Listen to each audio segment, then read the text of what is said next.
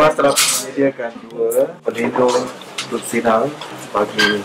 uh, melindungi uh, staf-staf daripada Sarawak General Hospital